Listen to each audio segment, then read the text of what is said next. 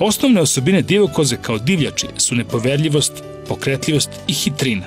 I izuzetno je spretna životinja, koja za kretanje koristi i najmanje izbočine u stenju, pa može da trči i po najstrmijim obroncima, pa čak i preko sipara, odnosno odrona kamenja na planinskim padinama koji nekad deluju kao kamena lavina. Snažni mišići i tetive, papci specijalne građe koji su sposobni da se obnavljaju, uz spretnost, precizno određivanje udaljenosti pri skoku i hrabrost omogućavaju divokozi da se kreće bezbedno po vrletnom terenu, čak i kad je pokriven ledom i snegom. Skokovi po takvom terenu dostižu dužinu do 7 metara, a na nizbrdici lako skače i po nekoliko metara u dubinu.